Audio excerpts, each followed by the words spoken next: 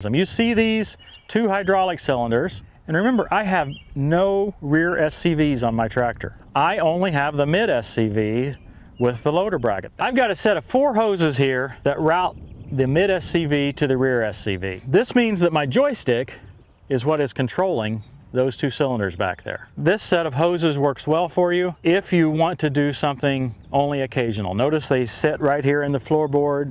I don't have them routed under the tractor in any way.